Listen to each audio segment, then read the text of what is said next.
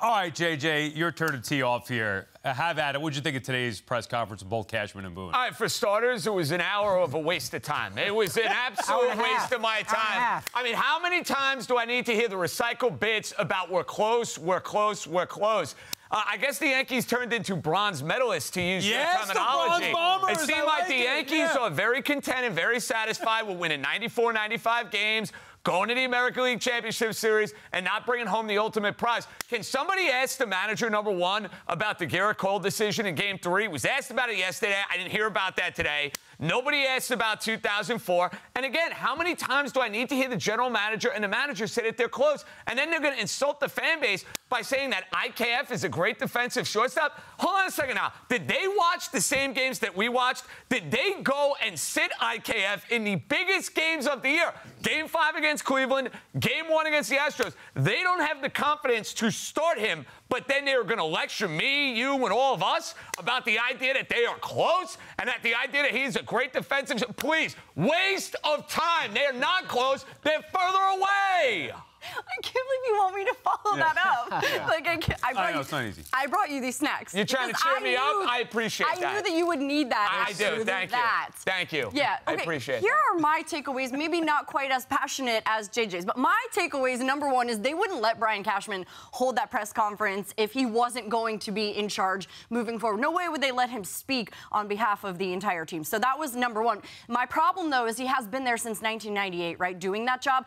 I felt like he didn't reflect that this season in anything he did off-season trade deadline Aaron Judge. And then also when Aaron Boone spoke about IKF and he said he was what we expected well, that's not good enough. I, am so with you. Like, that's not good enough. It's what you expected. You barely beat the Guardians in the division series. Like, right. that's not good enough. Why is why this season it just feels like it's always been, oh, it's okay. We're gonna be okay. We'll be fine. Any that's excuses were embarrassing right. too. How yeah. many times do I have to hear about Benintendi and whoever being hurt? Enough. Well, You're the Yankees. Yeah, that, I mean, that is fair though. I mean, it's fair. But Brantley was out for the Astros. No, I know, but Phillies have issues. They counted on LeMahieu and Benintendi to be the guys who put the ball in play, at least, and have he wouldn't have 30 strikeouts in two games. But well, who put the I, team but, together? But I know, I, mean, I, get what you're saying. I mean, listen, they. I think the problem, the biggest problem is they are close, relatively speaking, in the rest of the rest of baseball, but they're farther away from the Astros than they've been. I think what people need to see, Yankee fans need to see, is a little bit of this kind of passion right. you hear from JJ, from Cashman and Boone. They want to see that frustration. Boone referenced it, but it's really not. You're not seeing it. You're not hearing it. Cashman just, eh, you know, put, we're putting the team together. Look, I know Cashman feels strongly about a lot of these things, but he also gets too close to these guys he brings in. He defended uh, Gary Sanchez for years wrongly, and he gets tied up in these defenses of his, and they, he ends up making poor decisions. Now they're going to be tied to Donaldson and IKF. They have to make better decisions. That's the biggest problem. The worst thing to me is that they truly believe that they are doing everything the right way, and the reasons why they haven't broken through, not to win, to get to a World Series is because of bad luck and injuries. That's essentially what they're saying. Boone, oh, I want to hoist the trophy.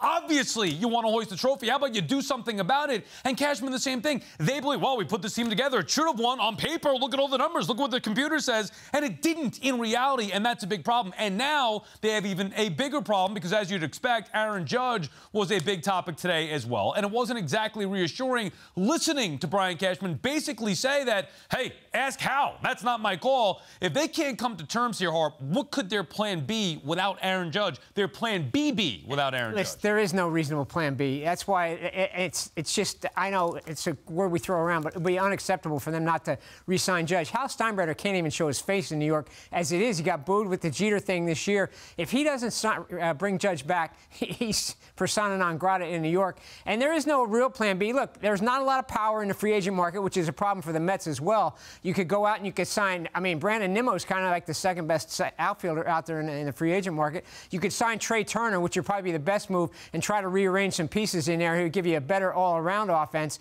It would you wouldn't have nearly as much power. But there is no there is no real plan B that would be acceptable for the Yankees. I would have liked to see, though, Cashman, instead of just saying either no comment or that's Hal's issue, I would have liked to ask him, yeah, but baseball wise, do you have a number that you believe would be the right way to go with Judge? Whatever it is, eight years, 320, whatever it may be. And they didn't answer that.